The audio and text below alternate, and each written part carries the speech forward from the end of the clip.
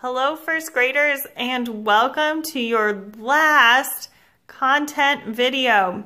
So this week we are going on a field trip to find all of those habitats that we have been learning about in Indiana.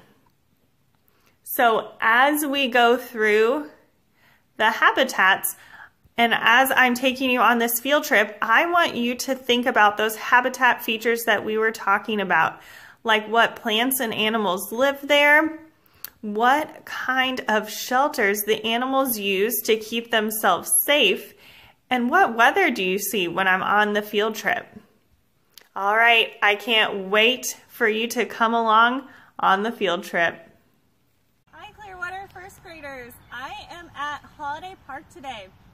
I wanted to take you to this park because not only do they have awesome playgrounds, but they also have some really cool hiking trails where you can go and see the different Indiana habitats that we have been learning about. So let's go. All right, friends, I am in the first habitat. What do you think it is? Yep, forest. So as you can see, there's a bunch of plants growing on the ground, tons of trees around me. I can hear the birds up in the trees. But so far, those are the only animals that I saw. The last time that I was here, there were deer really close to me. So I'm gonna keep looking for some more animals as I walk through the forest. Guys, look! I found some baby squirrels. They're playing and running and chasing each other. Do you see them? There they go.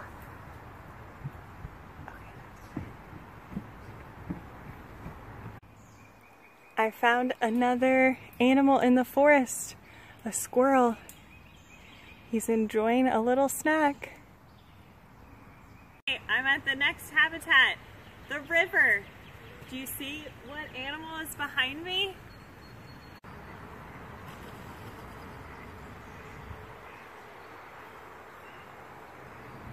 There are all kinds of plants and animals that live at the river. Fish, frogs, beavers, ducks, there's algae, seaweed. The river is full of living things. Here is another habitat. We are at the pond.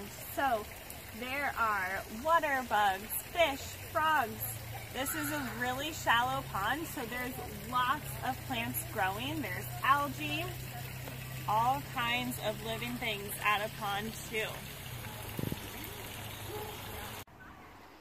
All right, friends, so I am all done showing you the habitats at Holiday Park. So we saw the river, a pond, and a forest. What is the other habitat that we have been learning about that I didn't show you today at Holiday Park? A cave. So there are all kinds of habitats around us. So my challenge for you this summer is to go out and find the habitats that we have been learning about. Look for all the living things that live there, what animals and what plants live there, and see if you can find shelters that the animals use to keep themselves safe. I have had a great time teaching you and showing you all of these habitats. I hope you all have a great summer. Bye friends.